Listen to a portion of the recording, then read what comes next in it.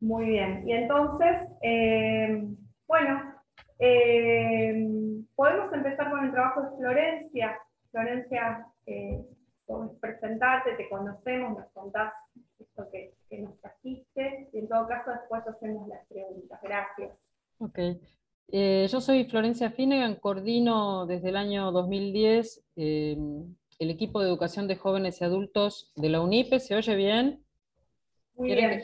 ¿Subo el volumen? ¿O ¿Está bien? Perfecto, no se oye muy bien. Eh, nosotros nos dedicamos a tareas de investigación y docencia y extensión, eh, vinculadas sobre todo al campo de la educación de jóvenes y adultos, que es un campo no muy estudiado o con menor desarrollo en Argentina, a pesar de que en la última década y sobre todo a partir de la, de la promulgación de la Ley de Educación Nacional, eh, que restituyó la educación de adultos como una modalidad, bueno, eso generó una serie de de, investigaciones y estudios. En general, en, la educación, en el campo de la educación en general de jóvenes y adultos, las mayores investigaciones, el, mayor volumen o corpus de, estudios se realizaron en los últimos años vinculados con, con las prácticas político-pedagógicas de los movimientos sociales y, con la preocupación por la educación popular, lo digo en relación como haciendo un, un enlace con lo que Noelia y, y Jorge van a, van a presentar. Nosotros tenemos una, una intencionalidad fuerte de estudiar eh, las prácticas de educación de jóvenes y adultos al interior del sistema escolar, ¿no? o sea, haciendo hincapié en el espacio escuela eh, y no en los márgenes ni por fuera del sistema educativo. Eh, en ese marco, digamos, el estudio, el estudio que voy a presentar, sintéticamente, voy a compartir pantalla eh, a ver. Estoy en eso, no sé si, ya llegó. ¿Sí? bien. Sí, se eh, bien. El estudio que, voy a presentar eh, se denomina los procesos de escolarización de los jóvenes en los centros educativos de nivel secundario del conurbano bonaerense, democratización de la educación, discriminación y reconocimiento. Eh, integró la programación científica de la UNIPE 2018-2020, o sea, tiempo pasado, eh, como varias de las presentaciones que se planificaron para este congreso, y la, presento yo, pero constituimos un equipo de investigación con las integrantes eh, cuyos datos están allí, allí debajo. No, voy a entrar en cuestiones metodológicas específicas del estudio, porque quería presentar más bien resultados que me parece que, dialogan más con, la presentación de Noelia y Jorge, pero en términos generales por ahí plantear que, la pregunta de investigación que nos orientó eh, refería a, las concepciones, prácticas y estrategias que ponen en juego los diversos actores de los SENS para enfrentar las variadas formas de discriminación que atraviesan a los jóvenes que integran a estas instituciones y promover experiencias de reconocimiento social. Por ahí para Janet, que, no, estás en nuestro país, eh, aclarar que los, los CENS son los centros educativos de nivel secundario, son escuelas secundarias destinadas a jóvenes y adultos a partir de los 18 años, ¿no? y que permiten completar y acreditar el nivel secundario. Em, en esta investigación nosotros consideramos que la discriminación forma parte de las diferentes desigualdades que atraviesan las sociedades contemporáneas. Eh, y bueno, tal como lo plantea la filósofa estadounidense Nancy Fraser, la discriminación se vincula con las injusticias, eh, con la injusticia cultural o simbólica, y está arraigada en los modelos sociales de representación, interpretación, comunicación.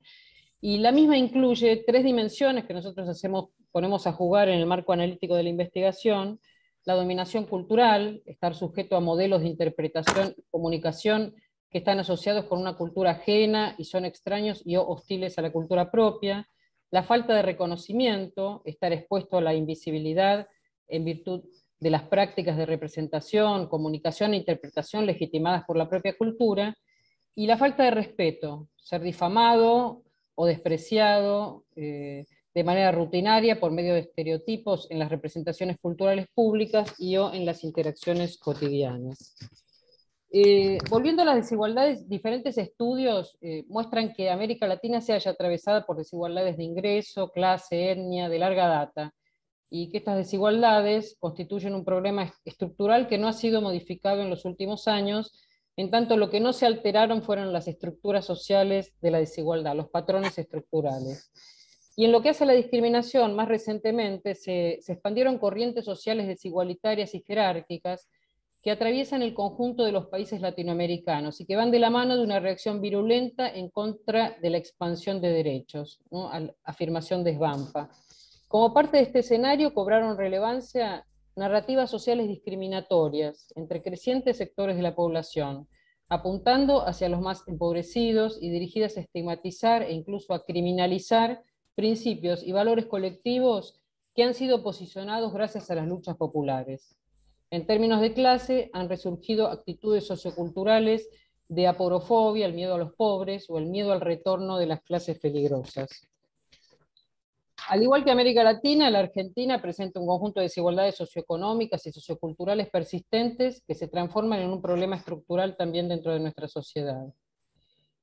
Eh, en cuanto a las en cuanto a las desigualdades socioculturales que son parte del objeto de este trabajo, diversos estudios afirman que en nuestro país los procesos de discriminación se hayan articulado sobre las diferencias de clase, territorialidad, racialidad y género. Ahora yendo a los resultados del estudio, los actores de los SENS que forman parte de este estudio reconocen la presencia de estos procesos discriminatorios, es decir, los hallazgos confirman estos fenómenos estos procesos discriminatorios. En cuanto a las clases sociales, se plantea que los sectores populares aparecen caracterizados a través de lo popular como lo malo, surge la porofobia, la descalificación a los sectores populares por vivir de planes, de planes sociales, vivir del Estado, el mote eh, despectivo de ser planeros. Respecto a la racialidad, se da cuenta de que existe una xenofobia que se hace visible en los procesos de descalificación hacia los negros, hacia las identidades multiétnicas, bolivianos, paraguayos, peruanos. Es decir, hacia todo aquello que no coincide con la categoría moderna urnocéntrica. En cuanto a la dimensión política, se señala que los sectores populares no están en los espacios de decisión y gestión real y que existe una negación de un umbral de derechos acompañada de la presencia de derechos sistemáticamente vulnerados. Por otro lado... Florencia, perdón, no sé si la, porque quedó, a mí me quedó una diapositiva de discriminación, no sé si estás avanzando con el, Power y nosotros no, lo vemos. No, no, no, pero lo, voy a sacar y después cuando avance con el Power, eh, ah, para, que no, para, que no, confunda. No. es que no quise, no quise poner muchas diapositivas porque me parecía que era confuso. Estamos en el eje discriminación, digamos, y estamos analizando en los hallazgos del estudio las, las representaciones eh, o los testimonios en relación con los fenómenos de discriminación hacia jóvenes en sectores populares, particularmente en los CENS. ¿no? En el eje de segregación territorial también eh, los, actores de los CENS confirman que este es, parte de la dinámica discriminatoria de nuestra sociedad y que afecta la vida de las instituciones.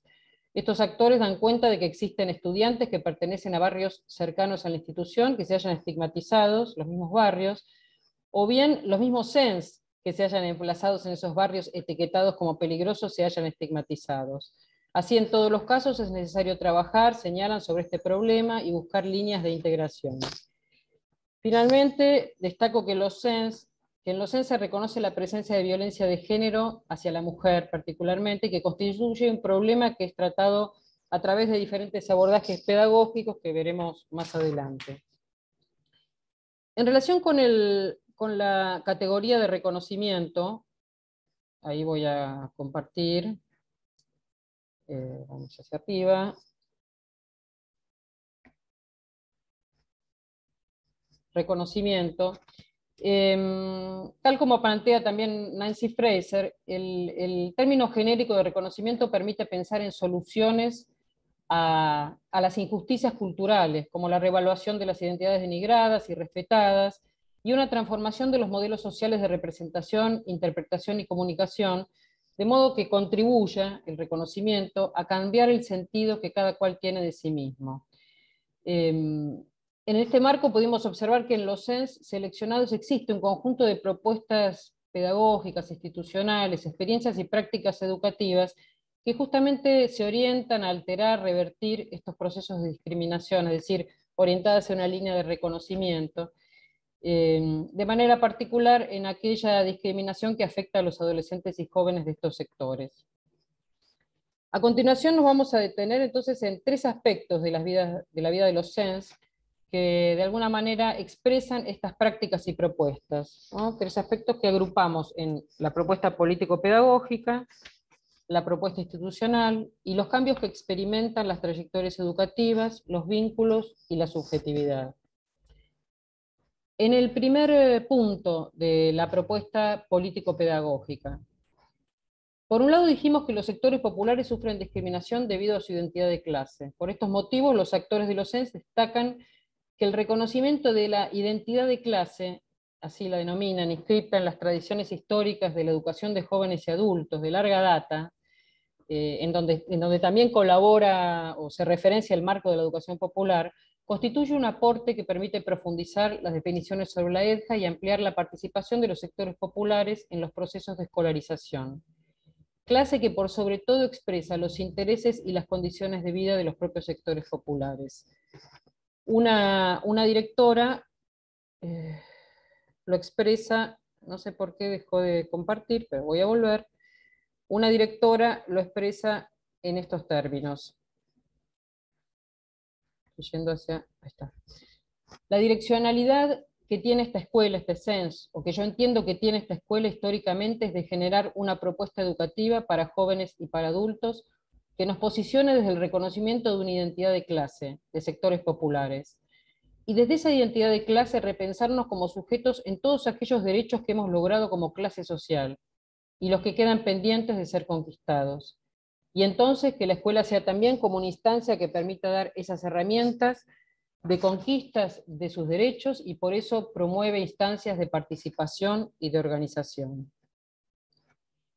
En este marco, intentando revertir la vulneración de derechos que sufren las clases populares, se apuesta en los CENS a construir prácticas educativas que favorezcan el afianzamiento del derecho a la educación, de los derechos sociales y de los procesos de ciudadanización. Sobre este trasfondo le asignan claramente al Estado un rol central como garante de estos derechos educativos, culturales y sociales. Y como parte de este posicionamiento proponen contenidos curriculares en los que se pueda estudiar la realidad ciudadana y el ejercicio de derechos, lo que implica encarar un trabajo, definen como de politización, de participación, que apuesta a la construcción de conciencia crítica tanto en los educadores como en los estudiantes. Es en el marco pedagógico de la educación popular que se apuesta a construir sujetos de conocimiento y no meros receptores o asistidos, en términos de Freire, sujetos que puedan revertir las marcas discriminatorias que por sobre todo cargan los jóvenes de sectores populares marcas que dan cuenta de la autorresponsabilización por el supuesto fracaso escolar que les asigna la sociedad, una calificación que entre otras cosas los niega como sujetos de aprendizaje. Asimismo, se trata también de superar las expectativas que portan los jóvenes, en las que el sentido de la escolarización solo se restringe a terminar la secundaria. Por eso, en los CENS se promueve un horizonte igualitario al construir expectativas en las que se cree vinculadas a continuar estudios en el nivel superior.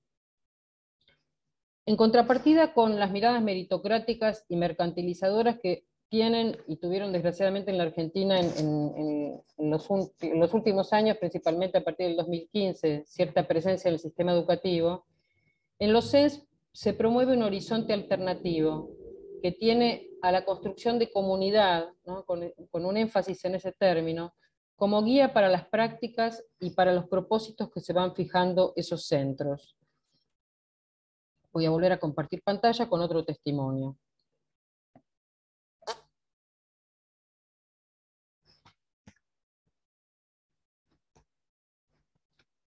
Porque nosotros planteamos, dice una integrante del equipo directivo, que la direccionalidad es construir comunidad. Construir comunidad, en el caso de salud, en relación a un, proyecto que tienen vinculado con salud comunitaria, promotora de salud. ¿Y por qué decimos comunidad y no promotores comunitarios de salud? Pareciera un juego de palabras, pero entendemos que tiene otro sentido. Lo explicitamos así porque decimos, no es un perfil individual, digamos, no es te formo como promotor, sino que generamos una comunidad en la que se forman promotores.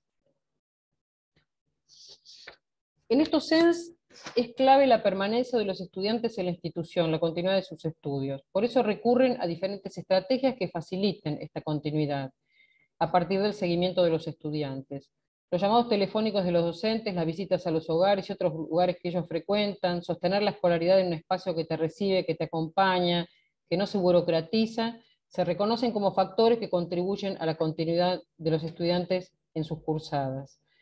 Además de los contenidos oficiales, los CENS suelen incorporar otros temas de interés de los estudiantes y de la realidad social, sobre todo aquellos que expresan los intereses eh, personales particulares y sus condiciones materiales y simbólicas de vida. Contenidos como identidad, cultura, memoria, género, territorialidad, trabajo, son propuestos en función de analizar las diferentes realidades que forman parte de la experiencia social de los sujetos de la ERCA. En las propuestas de enseñanza, la recuperación de los saberes previos de los estudiantes y los emergentes que se despliegan en el presente, así como la situación barrial y personal, resultan fundamentales para esta tarea pedagógica. En palabras de una coordinadora de SENS,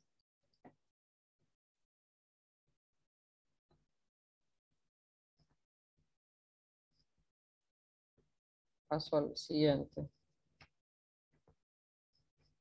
Como educadores replanteamos nuestro rol de educador siempre, constantemente. No podemos dar clase por más planificada que esté si hay un emergente que sale, un emergente territorial. Somos escuelas territoriales. Si se están inundando, ¿cómo vas a dar clase? Si una mujer es golpeada por el compañero y te viene con el ojo negro, ¿cómo transitas eso? Es pedagógico. Lo político es pedagógico, lo privado es político, ¿entendés? Entonces todo sucede adentro de la clase. Las propuestas educativas también contemplan un conjunto de iniciativas como el valor de los actos escolares como instancia para trabajar de manera conjunta aspectos que tienen que ver con la autoestima de los jóvenes, la construcción de murales que reflejan todo el trabajo del año, la elaboración de un afiche eh, a principio de año que luego se retoma al final para contrastar los procesos de trabajo, qué se encuentra o qué se encontró de aquello que se imaginaba en un inicio, y la necesidad de recuperar materiales o materias a través de talleres, clases de apoyo, entre otras propuestas. En el segundo eje de reconocimiento, de las propuestas de reconocimiento, vinculado con la propuesta institucional, las propuestas de los CENS ponen de relieve procesos de organización, participación social y comunitaria, como también de movilización en el espacio público. Proponen una participación ampliada de los equipos directivos, los educadores, los estudiantes, tanto para analizar la marcha de la institución como para llevar adelante la formación de los educadores. Fomentan espacios de reflexión sobre la democratización del proyecto educativo en el marco de una profundización de las relaciones con la comunidad contextual. Asimismo, se promueve la participación estudiantil a partir de la elección de delegados de curso, estimulando la presencia de estudiantes en asambleas desarrolladas muchas veces por fuera del horario escolar. Por lo general, en la dinámica institucional de los CENS se ponen en marcha acuerdos de convivencia, aunque muchas veces no están formalizados, y diferentes relatos dan cuenta de la existencia de episodios conflictivos que requieren del compromiso de educadores, estudiantes, preceptores y equipo directivo para enfrentar problemas y desencuentros y poner alternativas, proponer alternativas a las vicisitudes que se introducen en el cotidiano escolar. En este marco, la voluntad de construir nuevos espacios educativos la militancia política, pero por sobre todo lo que ellos denominan la militancia pedagógica, son las que se convierten en vías significativas para producir procesos sociales y educativos que apunten a la democratización de la educación. Los CENS básicamente, estos CENS consultados, se consideran escuelas territoriales. Se piensa y se pone en marcha una escuela de puertas abiertas, articulada con los territorios de los que forman parte, vinculada y activa con las organizaciones e instituciones barriales que desarrollan sus acciones en el contexto local. La elección de estos CENS por parte de los estudiantes se haya vinculada con esta confianza generada en el territorio a través de recomendaciones de familiares, de amigos, de organizaciones. Reconocen que se trata de una propuesta inclusiva, en las palabras de los estudiantes, porque no es un lugar que expulse a los jóvenes de ninguna manera. Hay un seguimiento de su vida personal, de qué les está pasando. Por último, en estas experiencias se le otorga una importancia significativa a la problemática del género. Incluso en algún caso el enfoque feminista de uno de los centros abordados lleva a priorizar la inscripción de estudiantes madres frente a un contexto de, exceso de demanda y pocas vacantes. Se trata de una decisión política de la institución vinculada a que la gran mayoría de las estudiantes son madres desde la adolescencia y por estos motivos la propuesta escolar contempla una atención particular a esta situación a través de la creación de un espacio de cuidado para niños y niñas. Por último, en relación con los cambios que experimentan las trayectorias educativas, los vínculos y la subjetividad en los estudiantes jóvenes de estos CENS. Para, estas instituciones resulta central que los estudiantes puedan inscribir su trayectoria educativa en el marco de una relación que englobe su biografía personal y la realidad social, en los términos de los actores consultados para poder ponerlos en un contexto que no los revictimice como responsables ni a ellos ni a sus familias. Como parte de este proceso se procura aportar a la construcción de un sujeto de aprendizaje, Así se trabaja sobre la autoestima y el protagonismo. Esto requiere construir una escuela que se interese y con mucho acompañamiento. De este modo se notan cambios después de la cursada que permiten generar expectativas, como por ejemplo cuando vaya a la universidad. En la construcción de las trayectorias educativas se llevan adelante prácticas para construir una trama vincular basada en la confianza, el respeto, la importancia de lo colectivo y de lo grupal. En buena medida, los estudiantes vienen de procesos de escolarización en el nivel medio común en los que experimentaron una lábil pertenencia institucional, cuando no situaciones de rechazo y de expulsivas, y hallan en estos censos un espacio de encuentro y de vida comunitaria. En sus palabras, acá encuentran un lugar, un espacio donde pueden decir quiénes son y qué quieren. Resulta clave la construcción de una sensibilidad en educadores, equipo directivo y estudiantes que vaya más allá de protocolos y recetas, un tipo de percepción que tienda al registro del otro, que proponga una vía abierta a sus necesidades, a sus búsquedas, a sus expectativas, y que cree nuevas posibilidades en los vínculos educativos.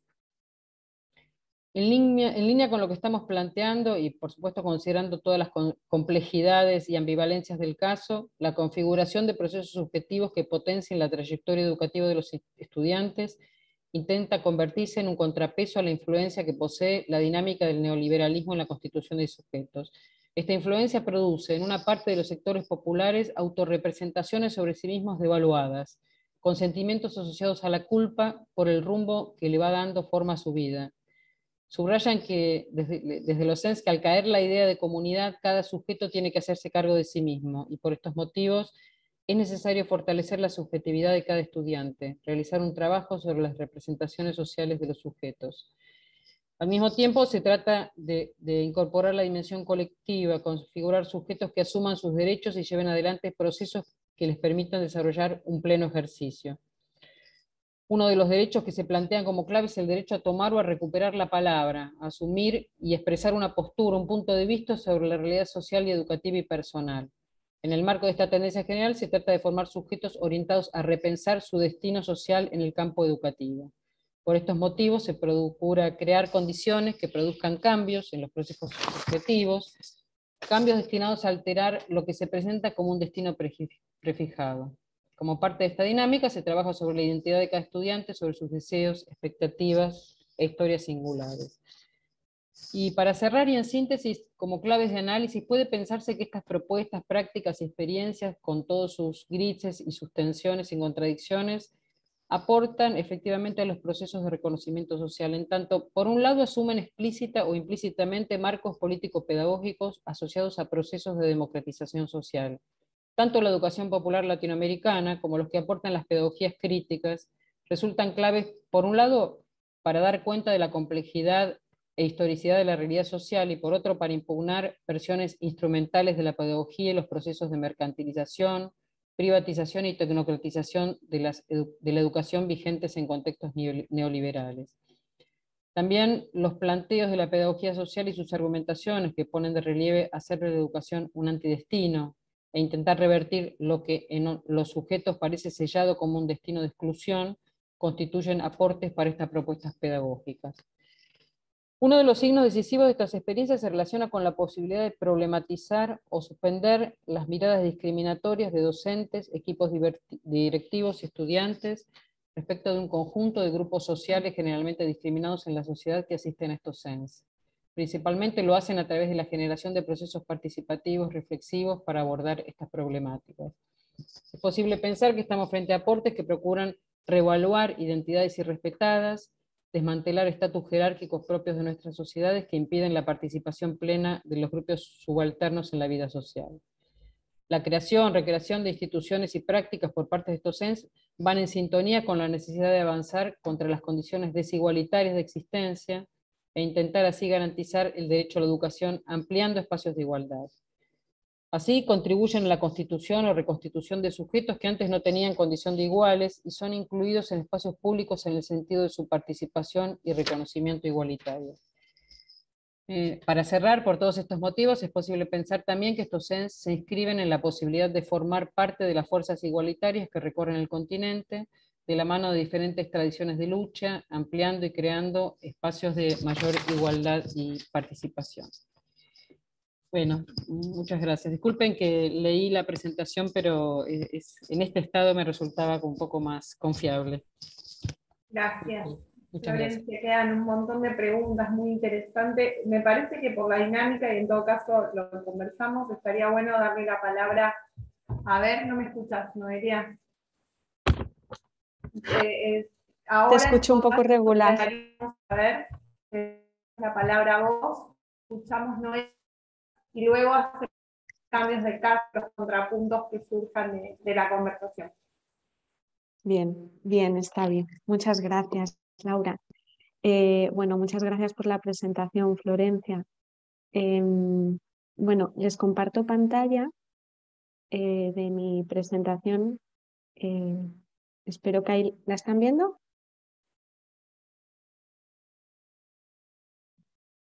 ¿Se ve?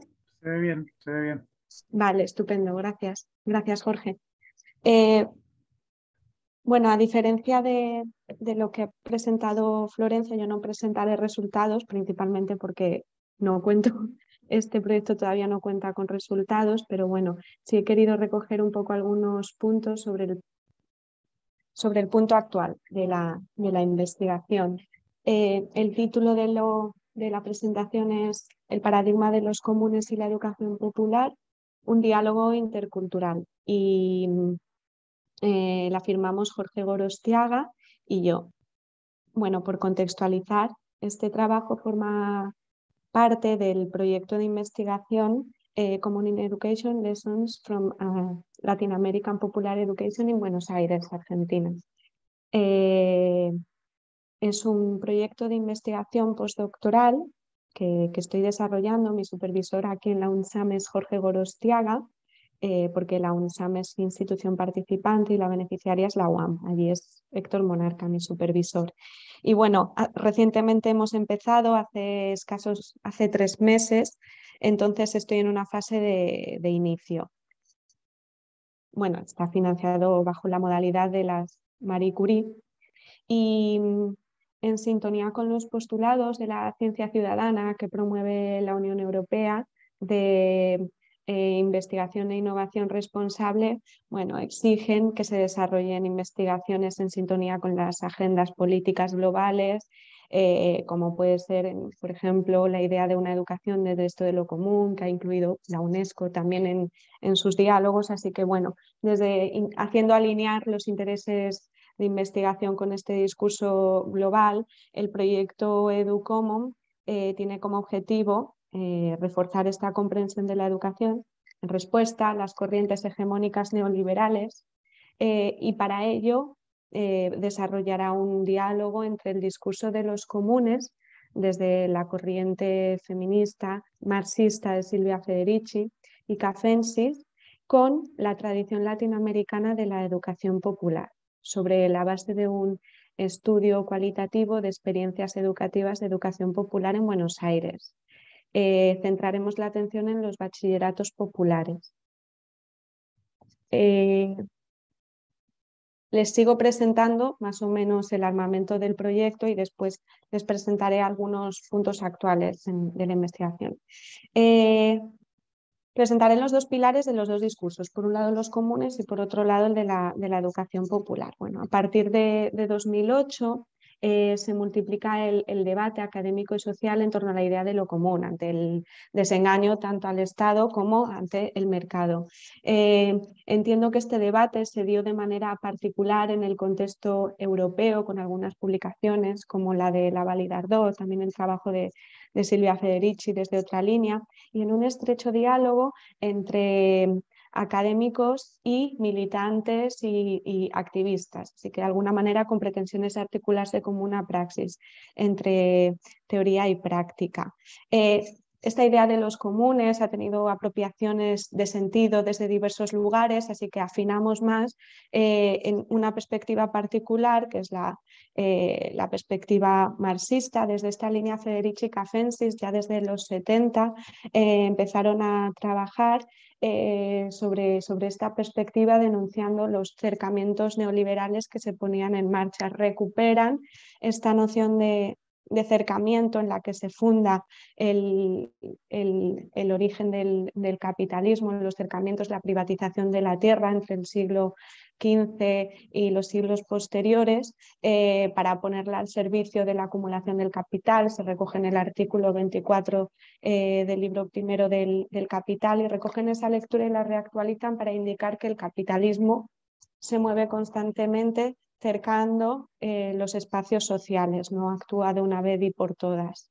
Eh, similar a la categoría acumulación por desposesión, por ejemplo, de, David Harvey. Y como contracara estos procesos de acercamiento, ponen el foco también en la idea de lo común, los comunes. La pregunta cómo construir eh, comunes. Esta idea de los comunes orientaría entonces la puesta en marcha de unos modelos democráticos de base para la cobertura eh, de las necesidades básicas y el acceso a los derechos, para la superación, desde luego, que supera la dicotomía Estado-mercado, porque no supone un rechazo tampoco al Estado, eh, en el sentido, por ejemplo, cito mucho este trabajo, pero me parece que sintetiza las ideas cruciales de que no se trata de dar la vuelta al Estado por más que haya funcionado como alianza eh, del capital, sino que se trata de recuperar y disputar los espacios del Estado que han garantizado, por ejemplo, en los modelos de Estado de bienestar algunos derechos. Por ejemplo, ya que nos ocupa esto, la escuela pública. Aquí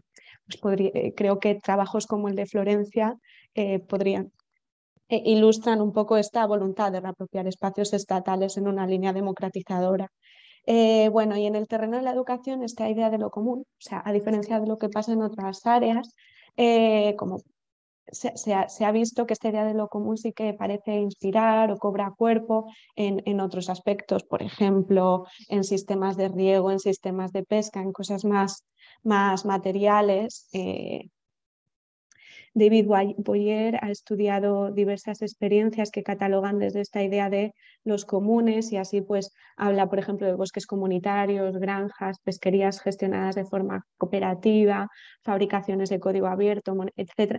Pero pocas experiencias en el terreno educativo parecen haberse abordado eh, desde, desde la idea de lo común y más bien en el terreno educativo parece que esta perspectiva de lo común ha funcionado como un horizonte utópico para pensar propuestas contra, contrahegemónicas, pero no se ha articulado con el estudio de propuestas que desde allí se, que, que se articulen efectivamente desde esta idea, ideas contrahegemónicas.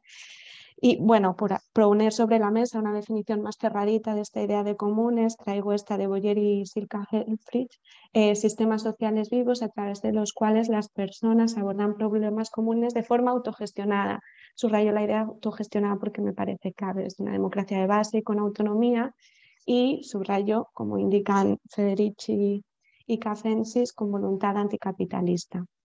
Y desde aquí eh, bueno, observábamos que tenía bastantes puntos en común con los bachilleratos populares y con la tradición popular. Eh, bueno, creo que no hace falta que explique mucho qué es el discurso, que es la tradición de la educación popular, pero bueno, eh, si bien hay diversas aproximaciones a la idea de educación popular, a la, que, a la que damos entidades a la corriente freiriana, trabajo emancipatorio a través de la educación que persigue la transformación social, al igual que en aquel discurso de los comunes que plantea la unión entre teoría y práctica. Y bueno, aquí eh, hemos optado por dar atención, al estudio empírico de los bachilleratos populares. Así que observamos diversos puntos de convergencia entre ambos discursos. Por un lado, no son iniciativas estatales ni mercantiles, sino que apuestan por proyectos transformadores que involucran actores eh, políticos y militantes de base, inspirados, por lo tanto, estoy en el punto 2, en modelos de democracia de base y participativa, y desde aquí son un desafío al modelo de democracia liberal. La pregunta también quizás al modelo asociado eh, de escuela, a este modelo de Estado. En tercer lugar, eh, tienen un interés por revertir las lógicas de privatización, mercantilización y exclusión eh, y se inspiran por el principio de igualdad. Y eh, veíamos que hay un eje interesante de indagación aquí en la intersección y las tensiones entre el Estado y este nivel de lo común, comunitario, de, articulaciones de base. Por aterrizar un poco más la cuestión, y bueno, si he entendido bien, tenemos a una compañera que no, que no está en Argentina, Janet, así que si, es, si entendí bien, espero que esto sirva para contextualizar qué son los bachilleratos populares. Eh, eh, Juan Marén los define como escuelas públicas, secundarias, eh, populares, autónomas, cuyas principales demandas son la obtención de títulos oficiales, el financiamiento integral y el reconocimiento de su especificidad por parte del Estado, sin que ello, como veremos, implique la pérdida de la autonomía política y pedagógica de dichas experiencias. Estos bachilleratos se pusieron en marcha tras la crisis de 2001 ante la observación de organizaciones de base y eh, de, la necesidad de proporcionar herramientas educativas y de garantizar la terminalidad de los estudios a jóvenes y adultos que no, habría, no habían conseguido eh, terminar, no, habían accedido a la terminalidad de sus estudios.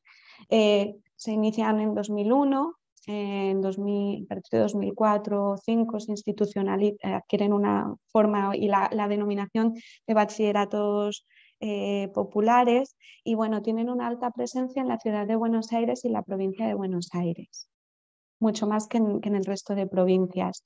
Entre 2008 y 2011, bueno, en 2008 logran que se reconozcan sus títulos eh, por, parte, por parte del Estado, no todos, algunos, y a partir de aquí se, o sea, se abre la vía para que se reconozcan los, los, que así lo deseen y a partir de aquí se produce una multiplicación numérica. Entre el 2008 y 2011 se, crean 65 nuevos bachilleratos populares y según el relevamiento que hace el Grupo de Investigación de Movimientos Sociales y Educación Popular eh, vinculado a la, de la UBA, en 2015 había 86. De estos 86, solo cuatro estaban e, en el, interior y los otros más de 30 en la ciudad autónoma de Buenos Aires y algo más de 40 en la provincia de Buenos Aires, por lo que la gran mayoría se aglutinaba aquí. Eh, bueno, uno de los aspectos que se, en esta atención con el Estado solicitan reconocimiento pero no quieren perder su autonomía, entonces aquí se ve una tensión entre sus proyectos eh, político-pedagógicos y también el, la interpelación que hacen el Estado y el reconocimiento que piden por parte del Estado. Algunos de estos bachilleratos populares en la ciudad de Buenos Aires han obtenido reconocimiento bajo la forma de unidades de gestión educativa experimental. Eh, pude contabilizar actual, que actualmente hay 19 lo contabilicé en la página del, Ministerio de Educación de la ciudad. Y bueno, sobre, sobresale el posicionamiento político de las organizaciones y de los colectivos que ponen en marcha, un poco en línea también con lo que presentaba Florencia, son proyectos políticos pedagógicos, o sea, al igual que aparecían algunas cosas de, lo que Florencia presentaba, y ahí se ve esta inspiración clara de la educación popular y la, inspiración, la inspiración freiriana. A partir de todo este contexto que presento, los objetivos específicos del proyecto son el primero, eh, el objetivo general, establecer este diálogo entre ambos discursos, el de los comunes y la tradición de la educación popular a través de la experiencia específica de los bachis, el objetivo específico 1 es desarrollar un marco teórico o grilla de análisis poniendo el foco en tres dimensiones. Histórica, con dimensión histórica nos referimos al origen de ambos discursos que comparten porque entendemos que han cobrado visibilidad sobre todo en espacios de crisis. Por ejemplo, tras la crisis de 2008 en el contexto europeo y acá tras la crisis de 2001. Institucional, porque queremos, dado que es un trabajo y estamos en el área de la política educativa, prestaremos especial atención a esta institucionalidad y relaciones complejas con el Estado. Eh, y en tercer lugar, la dimensión político-pedagógica, cómo se configura. Creemos que habrá una ausencia por la parte del discurso de los comunes en la parte que hemos presentado, más que ausencia, lo que pasa es que, como veíamos, no habría una gran articulación empírica, pero está altamente presente en estos proyectos. Y el objetivo específico 2, desarrollar el estudio empírico mediante entrevistas y otros materiales complementarios cualitativos con base en esta grilla. Y finalmente, el tercer punto, indagar las oportunidades para una traducción intercultural inspirada en las epistemologías del sur eh, de Santos eh, entre ambos discursos. Actualmente, en el momento actual de la investigación, con escasos tres meses, eh, por no, como, con la voluntad de no priorizar una mirada teórica y desde ahí bajar el trabajo de campo, estamos en el punto 2 también y el 1 desarrollándolos a la vez. y no estamos con las entrevistas, sino sobre todo estudiando materiales complementarios como datos que hay disponibles en las páginas web o conversaciones informales al tiempo que estamos con la revisión de la literatura. En esta revisión de la literatura, pues todas las investigaciones recientes sobre bachilleratos populares, también más ampliamente sobre qué es la educación popular, sobre otras iniciativas de educación popular que se han promovido por el Estado, como los programas fines, porque de ahí también interactúan de manera particular con los bachis y con foco especial en textos producidos, hemos observado que hay muchos textos producidos por los propios participantes, tanto estudiantes como eh, muchos docentes que también son investigadores. Estamos recopilando estos documentos y otros documentos disponibles, como las páginas web de los proyectos e información en las webs del Ministerio de Educación sobre la normativa que los reconoce. Y bueno, a través de conversaciones breves, informales con personas involucradas y también con colegas. Eh, eh, aquí pues con los que he intercambiado algunas, algunas impresiones. Entonces, como veis, está todo un poco desordenado, pero bueno, creo que las investigaciones un poco empiezan por aquí. Y a partir de esto les comparto ya unas breves observaciones iniciales. Eh, y utilizaré este ejemplo porque me pareció que reunía, que, me permitía, que me daba juego. Eh, bueno, este libro eh, es de 2015, Praxis Política y Educación Popular. Son apuntes a propósito de un bachillerato en particular, el IMPA, que está en, el barrio de, Almagro. Fue uno de los primeros que se puso en marcha, está en una empresa recuperada. El libro es de 2015 y está escrito por sus participantes, por docentes, que a la vez son investigadores, y también algunos capítulos por sus estudiantes. Y en el prólogo escrito por Ampudia y Elizalde, em, escriben eh, lo siguiente en la página 9. En este fragmento observamos, por un lado, ya de base hablan de estas tensiones con el Estado, algo que apuntábamos desde el inicio, una lucha permanente por el reconocimiento de los bachis. Se ve la, importancia de lo político constantemente desde una dimensión basada en esta idea de autonomía y de autogestión y de democracia de base, una lucha permanente, intencionalidad política, disputa por el Estado eh, y el campo de batalla en su creación, usos y saberes, mm, porque son organizaciones de base. Para algunas de ellas también los bachilleratos populares son una manera eh, de hacer una política mediante la pedagogía. No hay una separación entre política y pedagogía, e incluso la propia idea de lo común es una palabra que aparece, la misma idea. Pero también hay unas observaciones iniciales que se separan o que nos, eh, hacen, nos abren nuevos ejes de exploración que no teníamos previstos, como, como era de esperar. Eh, primero, la gran complejidad de esta institucionalidad, que no se resume a interacciones con el Estado, sino que creemos pues, que hay antagonismos, pero que también hay complementariedades. Les piden, por ejemplo, y creo que hablan de múltiples acciones condensadas, densas, manifiestas en lo micro y en lo macro, espacios de aula, formatos, desplazamientos, usos, prácticas participativas, democráticas. La Asamblea citan un montón de prácticas hablando de una estética densa de distribuciones, ya mismo al propio describir el trabajo de un bachillerato se ve esta complejidad, pero también a través de estas conversaciones informales y de una visión panorámica de la situación de los baches, hay diversidad en el grado de reconocimiento por parte del Estado de estos baches, según las provincias y también eh, por, eh, mm, en algunos se les reconocen los títulos, en, en otros también se pagan salarios. Diversidad en los proyectos políticos y la intencionalidad política de los baches lo que revierte eh, parecen los modos de, organizarse, diversidad en los espacios en los que se anclan, algunos en, empresas recuperados, otros en barrios más céntricos, otros en barrios eh, más populares, también a veces cambiando de, los de unos edificios a otros, e incluso bachilleratos que tienen algún reconocimiento a través de otros bachilleratos, es decir, ellos mismos no lo tienen, pero otro bachillerato eh, les permite que finalmente lo que imparten obtenga reconocimiento a través del reconocimiento que aquel tiene. No sé si he logrado expresar esta idea. Estos son ideas que les comparto simplemente para abrir la discusión, eh, porque son indagaciones exploratorias. También, finalmente, otros, la diferencia entre los posicionamientos oficiales de los baches con una clara intencionalidad político-militante eh, y, sin embargo, a veces se produce un choque con lo que están necesitando buscando las razones por las que el alumnado acude, que se derivan más de una necesidad más práctica eh, de terminar sus estudios de cara a mejorar sus oportunidades laborales. Y luego la, otro eje es la importancia del eje de la clase social. Eh, los docentes, las docentes son en que creo que una cosa, el punto anterior deriva de esto, son muchas a veces investigadores, investigadoras o en todo caso personas con un capital cultural más alto y es una situación eh, diferente de la, de la, del alumnado. En ocasiones, bueno, la idea de jóvenes y adultos como sujetos receptor realmente funciona como eufemismo para referirse a clases populares. Eh, así que bueno, creo que ese eje de clase social es interesante para indagar cómo se construye esta idea de lo común desde, una perspectiva freiriana. Eh, nada, eh, les presento esto, insisto, a modo de una exploración para, para seguir la indagación. así que agradecidísima de cualquier comentario que me, que me indiquen y nada, las referencias aquí quedan y muchas gracias. Bueno, muchas gracias. Eh, ¿Se escucha? Sí, sí. Muchas gracias, Noelia. Gracias, Noelia.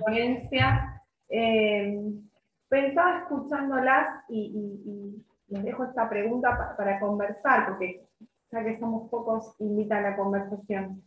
Pensaba que eh, por ahí, desde distintos comienzos, de distintos principios, cuando cada una de ustedes hace sus desarrollos, aparecen algunos conceptos que se repiten y que son comunes, ¿no? Eh, como por ejemplo el concepto de común o comunidad.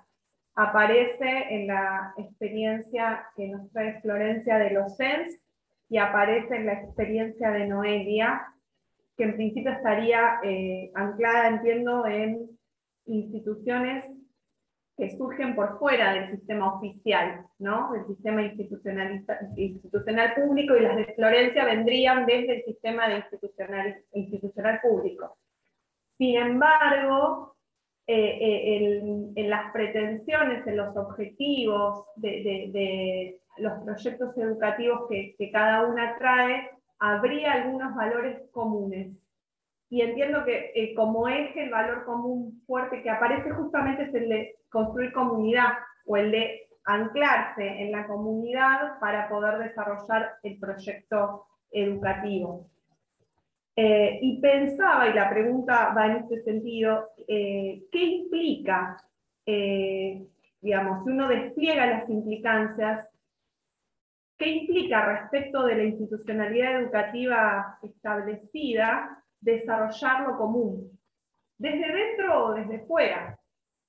Si uno se hace cargo de, ese valor, de vamos a construir comunidad o lo hacemos desde la comunidad, ¿cómo puede desestabilizar los formatos establecidos y esperables respecto del quehacer educativo? No sé si se entiende la pregunta, pero, pero bueno, se las dejaba porque es algo que yo también estoy pensando. Eh, detengo el video porque me parece que se traba la, imagen, por lo menos a mí.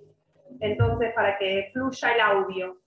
Eh, estaba pensando esto, ¿no? Digamos, si, a ver, nos anclamos en lo común o en los comunes, digo, ahí también hay, un desplazamiento. Eh, ¿Qué implicancias tiene para lo público, para lo privado y para la relación con el Estado, en todo caso? Y esto me parece que es una pregunta que cabe para, los dos trabajos. Sí, por ahí eh, eh, tomo la palabra. Eh, por ahí aclarar que las unidades de análisis de nuestra investigación contemplaban distintos tipos institucionales y allí tuvimos SENS, que, eran, que habían sido SENS o escuelas secundarias de jóvenes y adultos del sistema educativo desde siempre, y también otros tipos institucionales, por ejemplo, FINES, sede del FINES devenida en SENS, ¿no? comenzó como una sede del FINES de una agrupación política que luego se transformó eh, a, partir de la, decisión del sistema educativo provincial en un centro educativo a nivel secundario, y también bachillerato popular reconocido en la provincia de Buenos Aires con la figura de SENS. ¿no? Entonces, eh, por ahí, porque eso me parece que da una pauta de, que, lo que aparece recuperado y, muy, muy condensado en los resultados que presenté, representa recorridos eh, político-pedagógicos diversos. Eh, respecto de lo que vos preguntás, Laura, si es que entendí bien la pregunta porque es un poco compleja, em, en, la, investigación nuestra lo que aparece puesto como un sentido dominante tiene que ver eh, con, el trabajo en pos de los intereses de los sectores populares. Entonces, la cuestión de clase y la tensión de clase, sectores dominantes, sectores populares, para simplificar, es un eje muy fuerte. Y tal vez uno podría pensar que ahí lo común, la referencia a la comunidad, es, que, es, un término, en realidad es una categoría nativa, es un término que traemos de, los testimonios de las entrevistas. No, no, nosotros no, trabajamos la categoría comunidad eh, o lo común como analítica, como marco analítico.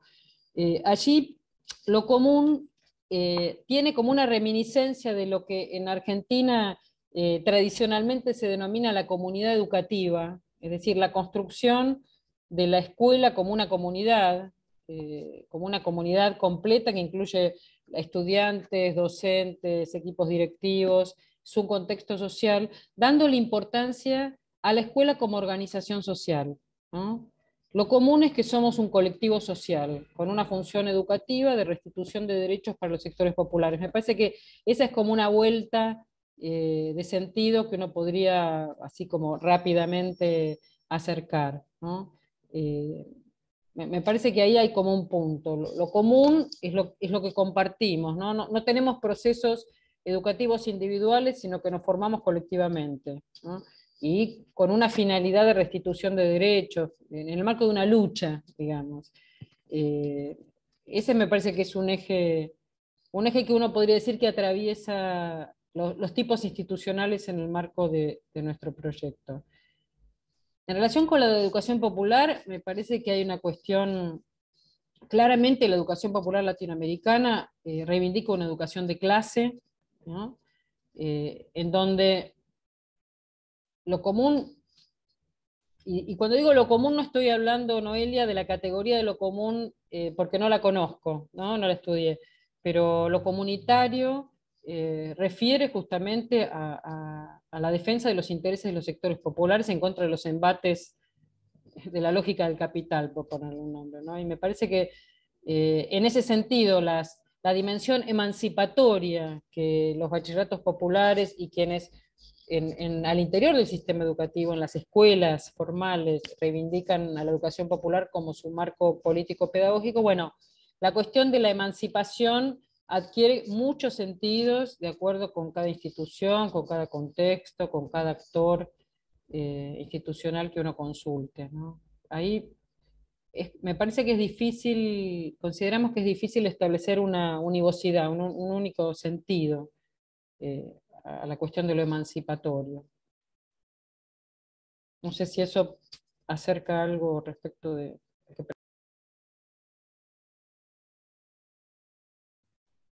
muy, es muy interesante. Eh, me gustaría ver, escuchar la Noelia. Sí, eh, bueno, por un lado esto de lo común, en el, te voy a dar una respuesta que me parece la más fácil de dar. En el proyecto de investigación está no pensado tanto en el campo educativo, sino más en, en general pensábamos esto de lo común, los comunes, como una racionalidad de construcción de lo social que va a ser opuesta a la, a la racionalidad de los cercamientos, es decir, a la racionalidad mercantil, que no solamente se da en el mercado, también en espacios públicos y sociales, que no son también en la escuela, mediante políticas neoliberales. Justamente como yo mi tesis doctoral la había centrado en aquello, me parecía que darle línea de continuidad a mi, a mi investigación era pasar a investigar ahora la otra racionalidad.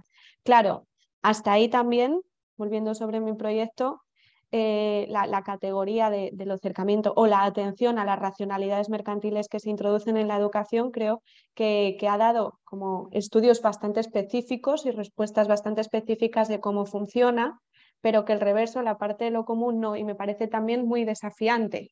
Creo que es más difícil dar una respuesta unívoca para identificar cómo es lo contrahegemónico, lo utópico a lo que se camina, o decir que solo tiene, tiene un sentido. Entonces, por ahí, no sé, a lo mejor dentro de dos años y pico, cuando termine el proyecto, soy capaz de decir un poco más a partir del estudio específico que haga, pero por ahí no, tengo una. También otra cosa, creo que sería en, en, atención a un marco crítico, no podría ser como qué valores orientan la práctica, como si primero son las ideas que nos orientan y entonces luego los proyectos se como si fuera un recetario, como si la realidad social se construyera a base de un recetario y así se introduce. Creo que ese no es un eh, pensamiento crítico por cómo funciona, sino que la organización de lo social es más compleja eh, que eso, así que no creo que la respuesta iría por la vía de lo común lo construiríamos haciendo solo esto, esto y esto, sino que de nuevo también un poco en línea con lo que decía Florencia es unívoco y creo que una cosa que lo inspira es desde luego un decidido posicionamiento de lucha emancipatorio por las clases populares, eh, por los derechos de las mujeres, de los sectores minoritarios, ese posicionamiento político y creo que puede tener muchas formas. Eh, en este sentido, creo que están los baches y también en los ejemplos de escuela formal. Por ejemplo, yo he acotado mi atención en los baches por una cuestión eh, muy pragmática y es que me resultaba fácil acotar en un lugar ante lo que percibía como que el discurso de la educación popular, como tradición que es también, eh, es inspiradora eh, para la acción educativa o la praxis pedagógica de muchas docentes que están en otras instancias, no solamente. Entonces, me parecía una, un recorte en un sentido práctico, pero un recorte entre otros posibles, porque el objetivo general de la investigación es poner en diálogo los comunes con la tradición de la educación popular y en esto de las intersecciones que tiene con el Estado no necesariamente está al margen ni mucho menos, sino que el Estado también es espacio a disputar o puede serlo. Eh, claro, con muchas más dificultades, yo, pienso que, por ahí justamente porque el Estado ha asumido, la escuela estatal ha asumido muchas lógicas eh, mm, mercantilizadoras eh, de, la, de, la, educación, pues la situación ahí pues es más compleja. Eh, eso sería, no sé, mi respuesta iría un poco por, por ahí también, por los obstáculos de reflexión que yo misma estoy, estoy viendo, viendo para, para definir. En todo caso, mi objetivo de la investigación es un poco a partir de estas experiencias identificar estas hebras de lo común en la praxis militante de los proyectos y evitar eh, hacer una retórica basada en mis principios políticos de qué creo que debería ser una educación popular. Creo que es eh, donde desarrollaría este diálogo de praxis entre teoría y práctica y donde yo misma, como docente, como investigadora, eh, puedo eh, aprender y con, los colegas, las colegas. No sé si por ahí un poco eh, te respondo ahora. Es buena la elección de los, coincido con tu elección de los bachilleratos populares como para, mirar este, este, problema. Me parece que es como súper pertinente. Me parece que también da para pensar que en Argentina hay toda una tradición de educación pública eh, muy fuerte, vinculada con, con, la inclusión de los sectores populares en el, en el aparato educativo estatal, eh, la creación incluso de espacios, las universidades obreras, como desde hace muchas décadas. Eh, y en ese sentido, los bachilleratos populares se inscriben en esas luchas y también se inscriben las escuelas públicas y los sindicatos docentes, que en Argentina protagonizaron procesos de lucha muy, muy, muy intensos, muy sustantivos, ¿no? en pos de derechos y defensa de lo común. En realidad, eh, también a mí me, ahora me abre la pregunta sobre las posibles articulaciones entre la categoría de lo común en alguna de sus acepciones, porque ignoro cuál es su, su, su desarrollo, y la, y la cuestión de la universalidad, ¿no? de la universalización de la educación pública, del acceso universal, ¿no? que por ahí remite una categoría más de la democracia liberal, ¿no? pero que, ha sido como un espacio de una, categoría que se utilizó mucho en la, lucha política de los sindicatos, ¿no? lo público, lo popular, lo universal, como la escuela en ese, eh, enhebrada en ese, en ese repertorio de significados y de prácticas para... Sí. Sí, sí, estoy, estoy muy de acuerdo también porque esta idea de universalidad de alguna manera apela a un principio de igualdad universal, bueno, alguna manera no, apela a un principio de igualdad universal para la construcción de los espacios educativos y también yo creo que aleja, no necesariamente, pero de la mirada más meritocrática, una la idea de una universidad universal o de acceso eh, aleja de, una idea más meritocrática que sí es más liberal, que ha sido fuertemente recuperada por estos discursos eh, neoliberales. Y en ese sentido creo que, sí, que reflejan esfuerzos por una racionalidad de lo social afín a lo común. Estoy de acuerdo. Sí, sí. Puedo, introducir algo, me parece muy interesante toda, toda, la discusión eh, toda esta discusión refería a cómo se, cómo se reconfigura lo público eh, en, los últimos, los últimos tiempos, también en virtud de, del rol que juegan las lógicas mercantiles. A, mí, digamos, recién cuando, hablaba, cuando, cuando se introducía la cuestión de lo universal, también pensaba que eh, de alguna manera la, discusión de, lo público no estatal o lo de común o de la comunidad en tensión con lo estatal también en alguna medida viene a responder algunas de las, de las tensiones o las paradojas o los, los límites de esa noción universal que cuando es una noción, es una noción un poco abstracta y que en algunos casos, la medida que, o, en la forma que el Estado, digamos, la, la este, concretizado incluso bueno, con, el modelo de la escuela pública, eh, en muchas ocasiones termina siendo, eh, termina mostrando los límites para la, incorporación de, ciertos, de, muchos sectores sociales o de los sectores sociales subordinados y de la, de la concreción del derecho a la educación de manera igualitaria.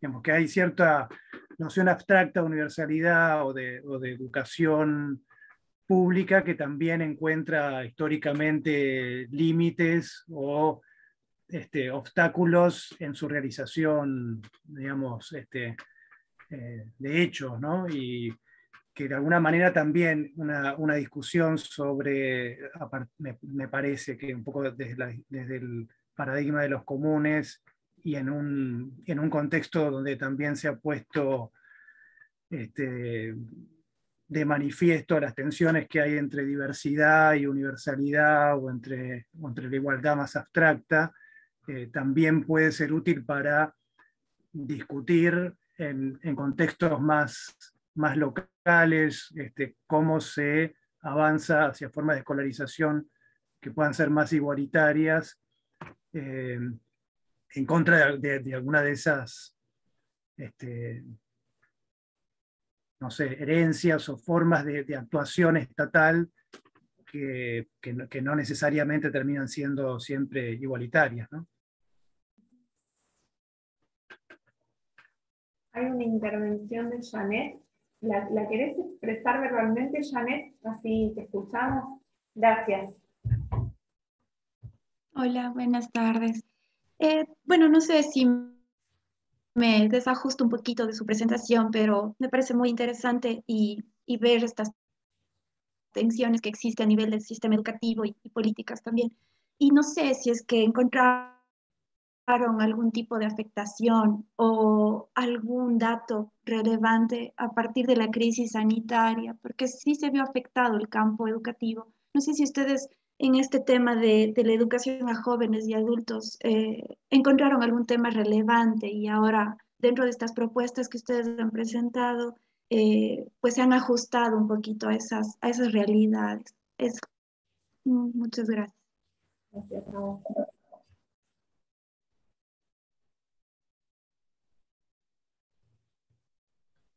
Em, a ver, en, la Argentina la educación de jóvenes y en América Latina, ¿no? Bueno, ahora justo se está produciendo la semana que viene o la otra, la Confintea, que es la Conferencia Internacional de, Educación de Adultos en Marruecos, y la verdad es que la región lleva, la región latinoamericana lleva un informe eh, a la Confintea bastante desalentador en relación con lo que fue la experiencia de la educación de jóvenes y adultos escolar, al menos, eh, en los sistemas educativos de la región en el contexto de pandemia. Sí, la verdad es que mm, la educación de jóvenes y adultos históricamente al interior del sistema educativo es subalterna, o sea, padece una situación de invisibilidad, eh, de financiamiento en términos generales, de, problemas entre la oferta y la demanda, eh, digamos, la cobertura y la, y la demanda de, de, los sectores populares por, completar niveles educativos y, y además porque, porque, como vos decías, Noelia, antes, la, quienes asisten a las escuelas de jóvenes adultos son sectores sociales subalternos, o sea que ahí digamos, la educación de adultos padece una doble subalternidad por sus destinatarios, entre comillas, que tienen posibilidad las posibilidades subalternas de ejercer poder político para, para pedir por sus demandas, y también por el lugar secundario que ocupa en el sistema educativo. En ese marco, eh, si uno mira lo que sucedió en la Argentina durante la pandemia, no lo estudié sistemáticamente, pero tengo algunas aproximaciones. Eh, las jurisdicciones, los estados de la Argentina, digamos las provincias, hicieron, llevaron adelante algunas iniciativas, pero en términos generales lo que hubo fue una, muy drástica discontinuidad de los estudios, imposibilidad de de los y las estudiantes de acceder eh, a las propuestas que se armaron en algunas provincias en términos de, virtualidad, de virtualización, porque no, tenían, no tienen los dispositivos o si los tienen priorizan a sus hijas e hijos para que los usen para la escolaridad común y además por los temas graves de, de conectividad, de ausencia de conectividad. Y también en el caso de la población joven y adulta, muchas veces por la, por la ausencia de desarrollo de capacidades para trabajar educativamente en relación con lo virtual, ¿no? No que no tengan habilidades o capacidades para manejarse con dispositivos, sino eh, respecto de la pedagogía virtualizada y por supuesto las y los docentes también. Eh, fue bastante complejo, muy complejo. No sé si respondo. Sí, gracias.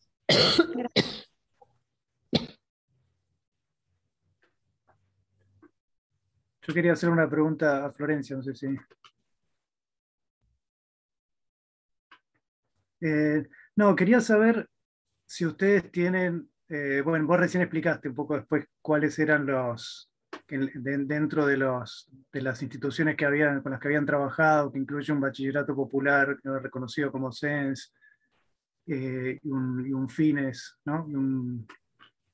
em, pero yo quería saber si hay eh, porque más allá de que también durante tu exposición hablaste de, bueno, de, las tensiones, parece como los, los, los este, resultados que, que, estabas comentando parecen apuntar a un, en general, un, un compromiso bastante fuerte de, los, de los con los que ustedes trabajaron, con una visión político-pedagógica eh, con, bueno, bastante alineado todo con, con esa perspectiva y una, una, perspectiva muy positiva del trabajo que hacen. Eh, si ustedes tienen una, una, hipótesis referida en general a los SENS, eh, en virtud de la tradición de la cual abrevan, que, que va en ese sentido, o, tuvo que ver un poco por ahí con las instituciones con las que ustedes trabajaron, eh, no sé si se entiende. sí, sí, claro, claro, entiendo y además entiendo, entiendo el sentido y la pertinencia de lo que estás preguntando. Nosotras, en, eh, nuestro equipo de educación de jóvenes adultos de la UNIPE, en general lo, que tiene como propósito es tratar de visibilizar prácticas, digamos, que de alguna manera aportan a la democratización de la educación que se están produciendo al interior del sistema educativo Em, en, el campo y en la modalidad de educación jóvenes y adultos. Desde ese punto de vista, lo que hicimos fue seleccionar casos, o sea, seleccionamos casos de instituciones que de alguna manera se identifican o con el marco de la educación popular o de la pedagogía crítica, eh, o abordan, abrevan en otras perspectivas pedagógicas que, tienen, que, manifiestamente tienen una intencionalidad democratizadora, eh, y desde ese punto de vista, bueno, vamos por este camino, digamos. ¿Por qué? Porque la verdad es que en, en, relación con el lugar subalterno que tiene la educación de jóvenes y adultos, en general los estudios e investigaciones que refieren al sistema educativo de adultos tienden a señalar, eh, a centrarse mayormente en los déficits, déficits en relación con la concepción de los, de los y las estudiantes, eh, como objetos y no como sujetos, bueno, una serie de cuestiones eh, que nosotros optamos como investigadoras por una opción política de tratar de, de, compensar, ¿no? de, complementar con otras, con otras perspectivas. Yo no tengo un, no, podría hacer una afirmación respecto de lo que vos preguntás en relación con eh, el, el, conjunto de los CENS, ¿no? De provincia de Buenos Aires, de la ciudad de Buenos Aires.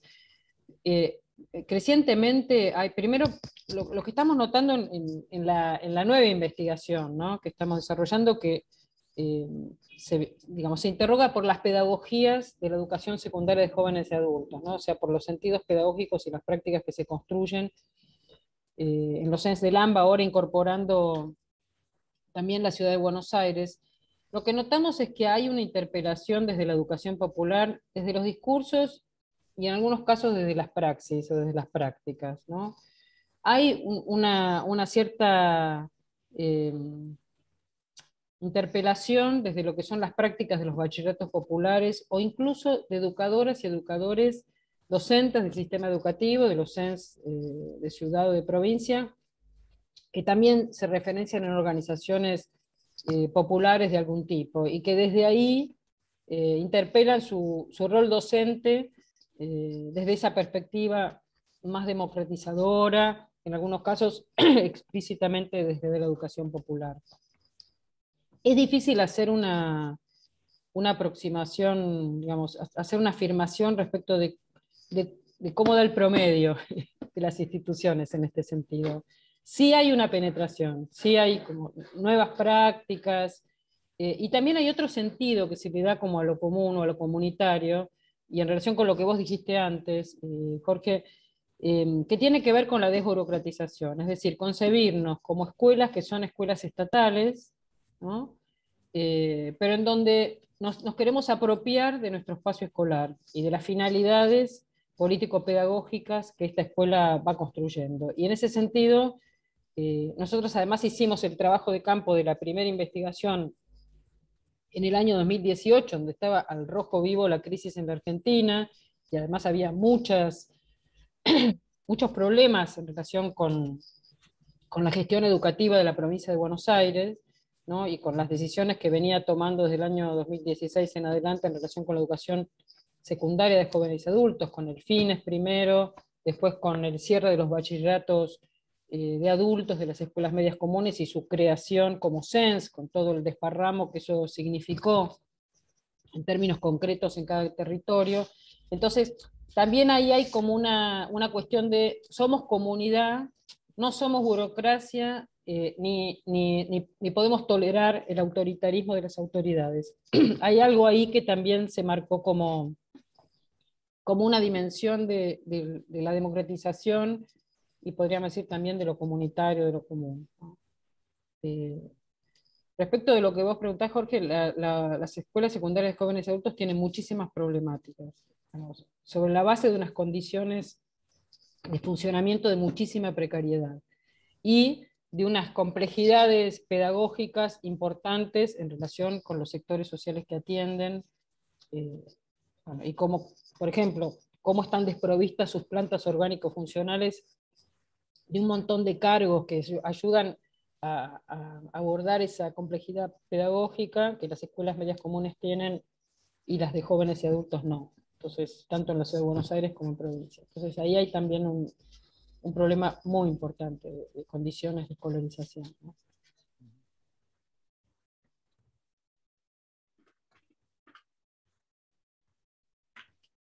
¿Algún comentario más? ¿Alguna pregunta? Bueno, eh, les agradezco mucho la, exposición, me parece que fue muy fructífera para todos los que participamos, nos, vamos con muchas preguntas. Eh, y, estuvo armada con, con, mucho criterio, ¿no? Yo, o sea, yo no la armé, quiero decir, me llegó esta, mesa compuesta así, me parece que potenció los, los, trayectos de donde cada uno de nosotros venía. Les agradezco y seguramente esto ameritará nuevos diálogos. Tenemos los mails, nos podemos cambiar bibliografía o consultas. Por ahí los voy a estar yo también molestando en este sentido. Eh, gracias Florencia especialmente por, por, todo lo que tuviste que hacer para poder sostener este espacio enferma. Así que fue muy importante la presencia. Bueno, gracias Noelia, gracias Jorge y Janet, bueno, andaba por ahí. Gracias por tu escucha atenta. Y si les parece, entonces damos por finalizada la mesa. Sí, sí, muchas gracias, Laura. Gracias a todos y todos. Que sigan bien. Dale, y seguimos en contacto, Noelia. sí, estamos en contacto. Ha sido un placer escucharte, Florencia, y conocerte. y también a ti, Laura.